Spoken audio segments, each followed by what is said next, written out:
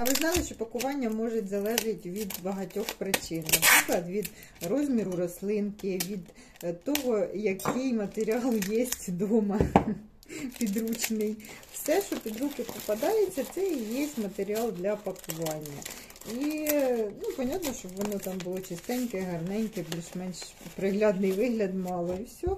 Головне, щоб рослина доїхала якісно. Все. Я думаю, так. Звісно, всі хочемо, щоб було естетично, все там красиво.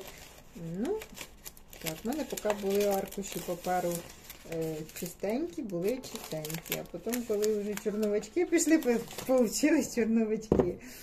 Тому не соромтеся, пакуйте. Головне, щоб ваші клієнти отримували якісно запаковані і рослинки, які ось вони витягли його з бумажечки, коробочки і посадили в ґрунт. І вона вже, ця рослинка, усміхається і радує своїх нових власників.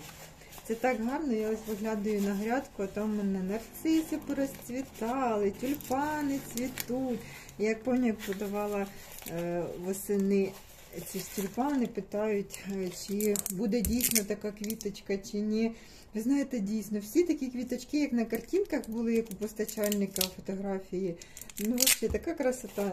Треба якось, щоб руки дійшли та пофотографувати, вам показати, чи хоча б відео зняти. Мушку якось.